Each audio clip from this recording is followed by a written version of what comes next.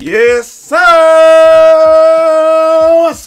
On, everybody? It's your boy Jai Eazy, aka Fresh from the Barbershop, BK the People's Channel, coming to you live with another NBA update video, man. I got a couple of these coming out today, man. Um, I don't even know if you watch if you watch me for 2K. I don't know if we're gonna get to a 2K video. We're probably in the middle of the day, but uh, I got at least three of these update videos coming out today because I was uh, I'm behind a little bit, man, just because it was Father's Day weekend, and you know how it is when, when you're a father, man. On Father's Day weekend, you just have so much so much things going on. The wife and the family they took me out.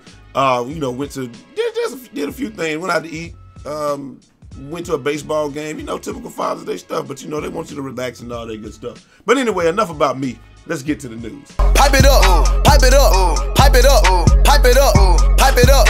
Now, in case you were on the rock like I was this weekend, man, you already know this. The Philadelphia 76ers have agreed to swap picks with the Boston Celtics. And what the Philadelphia 76ers are doing, the way that they're going to do this is they're going to take their first round pick from next year that they have via the Lakers, and they're going to send that to Boston, and then they're going to take Boston's first overall pick, number one overall pick. Everybody knew this year, I mean, they're going to use that to take Markelle Fultz. Now, everybody knew that Markelle Fultz was going to be the number one pick this year. I mean, he's the perfect combo guard. He's good size. I think they got him at six five or so. I don't know if he's done growing. He might be six six, six six and a half, six seven by the time you know he's done growing. But right now, in Philadelphia, I think he's going to be a great fit. I mean, he's a combo guard, so not really a point guard, not really a two guard or what have you. But let's check this out.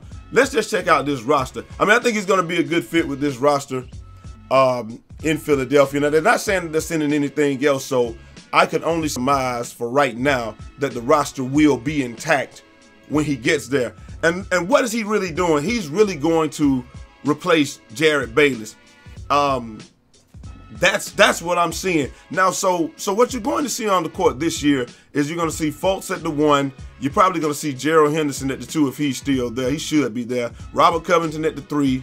I mean, I'm, I'm not not Robert Covington at three. Robert Covington will be coming off the bench. Ben Simmons at the three, and then you're gonna see Embiid and Okafor at the four and five. You know, they're probably gonna switch out. Who knows? I don't know. If you're a Philadelphia 76ers fan, do they play a stagnant position or do they just kind of play two bigs? Because I just see both guys on the court. I never really pay attention to what they're supposed to be playing. But um, at any rate, Markelle Fultz is a hell of an upgrade over Jerryd Bayless, in my opinion. And like I said, with Gerald Henderson at the two, Gerald Henderson is going to give you some good defense and um, and hit open shots. Uh, Robert Covington probably played at two position some as well. He'll probably just come in and, and, give him some time off or what have you. They may even have Fultz at the two and have uh, Jerryd Bayless at the one. In, a, in an offense like this, where Ben Simmons is expected to run the point, uh, you know, the majority of the time, Ben Simmons is going to be expected to run the point. So I really I really don't see it mattering who plays point guard. You got somebody like Markelle Fultz that can shoot the ball from anywhere on the floor and he can get to the bucket at will. I mean, he, he's pretty much a scoring machine, and then you have a distributor like Ben Simmons. It's going to be a situation almost like the Bucks, but this team may actually be on par or even better than the Bucks. I know uh, they said that Joel Joel Embiid said that with his team after this draft, they were going to be ready to compete and uh, he said that we're not going to be ready to compete like four or five years down the road. We're going to be ready to compete next season, and we're going to surprise a lot of people. Well, they have definitely surprised a lot of people with with this pick. Uh, well, well, not the pick with this trade, and uh, we'll see. We'll see if what he's saying is whole true. Maybe they will be ready to compete this year, but I still don't see them getting out of the East. Pipe it up, down, pipe it up, down, pipe it up. Down. And our second biggest piece of news from this evening was Jimmy Butler to the Celtics buzz based on more speculation than reality for now. So a lot of reports from this weekend were coming out that Jimmy Butler is going to the Celtics. This wasn't anything absolute, and I don't see you know what they would really trade. Now what I'm thinking is once the Fultz trade, well not the Fultz trades, once they finalize the trade with Philadelphia, what they're probably going to do is take that pick that they get from Philly uh, from the Lakers because that's probably going to be a high pick too because I don't see the Lakers doing very well this year. I don't know if it's a protected pick or not, but what I what I expect them to do is take that pick that they get. So Boston will have a first round pick from this year. They'll have two first round picks from next year. And they're probably going to send that over to the Bulls and then uh, try to acquire Jimmy Butler.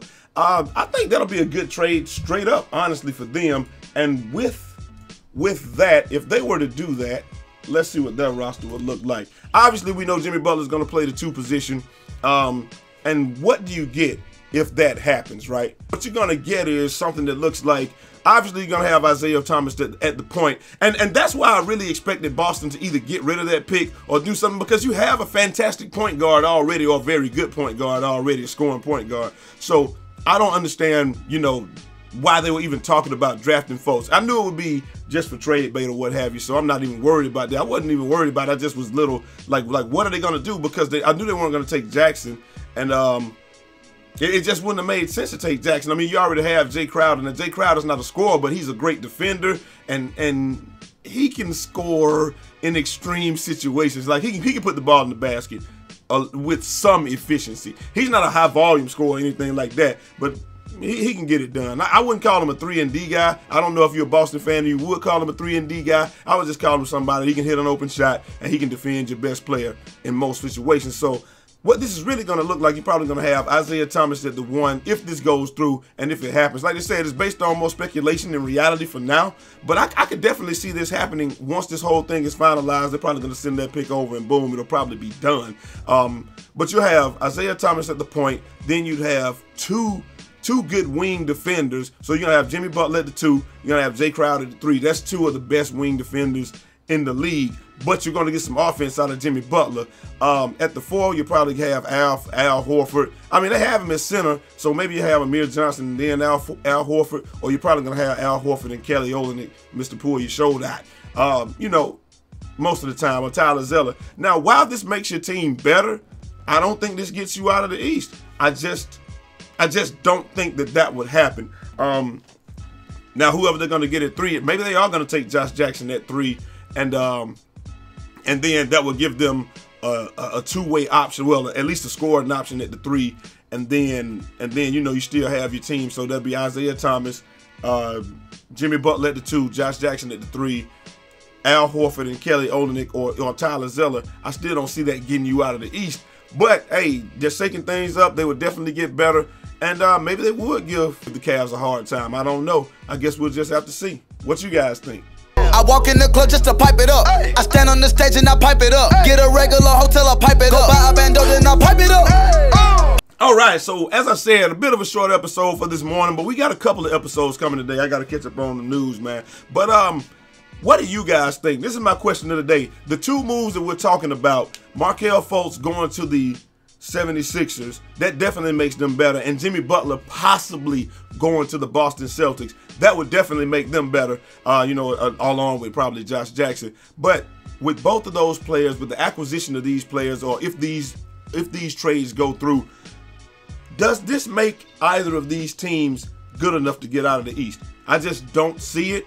I could be wrong, but like I said, that's why they play the game in real life and not on paper. So, uh, you guys let me know down in the comments. Are these moves going to be good enough to get either team out of the East or at least to the Eastern Conference Finals. I could definitely see both teams. I mean, you know, not against each other, obviously, but I could definitely see both teams uh, being good enough to get to the Eastern Conference Finals. Now, I just don't think it, these moves get you out of the East. But anyway, enough about what I think. Tell me what you think, man. Does this get these guys out of the East? I don't think so, but maybe you do. I'm out of here. Till next time. It's your boy Jai Eazy, aka Fresh from the Barbershop, BK the People's Champ. Holla! 360 out this month.